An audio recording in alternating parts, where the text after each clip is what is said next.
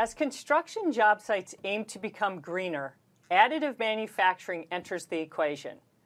Oak Ridge National Laboratory is looking to help. For those of you who might not know about Oak Ridge, it is one of the U.S. Department of Energy science and energy laboratories, and it conducts basic and applied research to deliver solutions, in this case, additive manufacturing.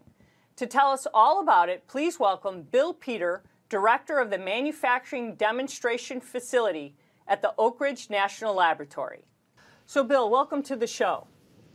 Thank you, Peggy. I'm glad to be here. So, Bill, can you explain to us what you guys are doing and what is advanced manufacturing in the facility? Yeah, so the manufacturing demonstration facility was set up by the Department of Energy Advanced Manufacturing Office. It's at Oak Ridge National Laboratory, one of the nation's uh, largest uh, Department of Energy labs.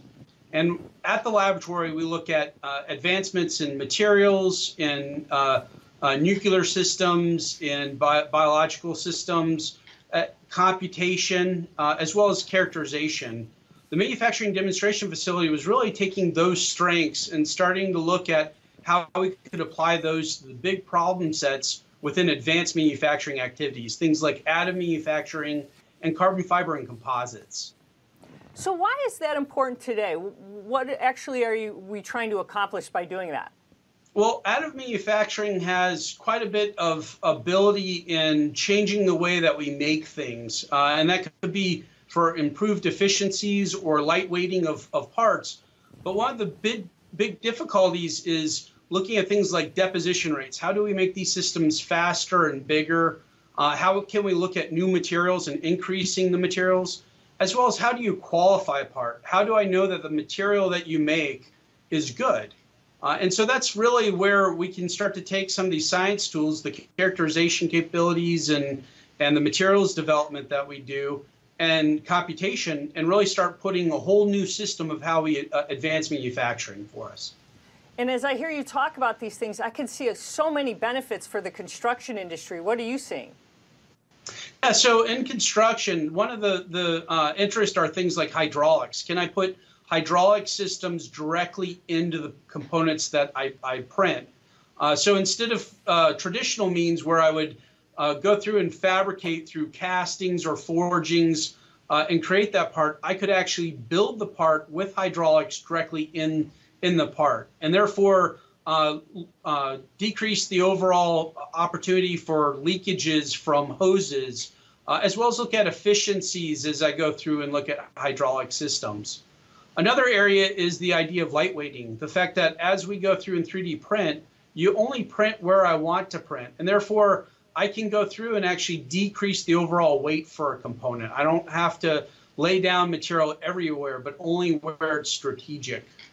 I think the last one really has to do uh, with with innovative uh, design and things like heat efficiency and how you can change the way that you go through and look at heat flow and how I can go through and actually become much more energy efficient my overall system.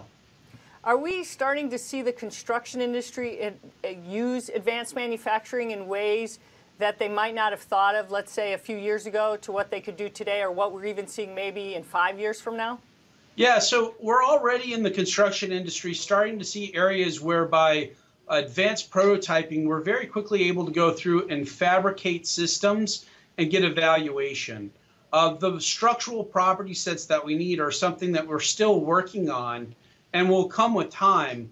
But the idea, though, of being able to print really big parts uh, at fast rates that are meaningful for the construction industry that's a big area that Oak Ridge has spent a lot of time in both composites as well as in metals. So, what kind of things do you envision printing that you could see that we'll be using on the job site in the future? Well, I think Amy was a, a really nice example. Amy was an additive manufactured excavator. And as we went through, we showed a couple different areas that, that we went through and produced on, on that excavator. We, we printed the stick uh, where we were able, we used a metal printer that was on a MIG welder to print a, a, little over five foot stick.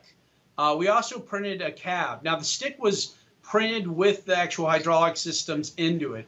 The cab was developed in a scenario and it was with actual various different universities. The one that won the design challenge was University of Illinois. It was designed so that it could take rollover, but also was designed so that was as lightweight as it possibly could be for the excavator.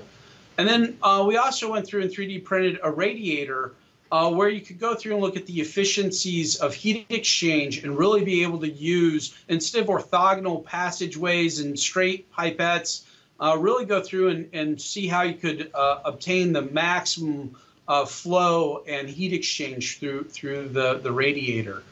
Um, the big area, though, that I see going forward is in dies, tools, and molds, where by going through uh, the United States lost 37% of the die, tool, and mold industry in less than a decade.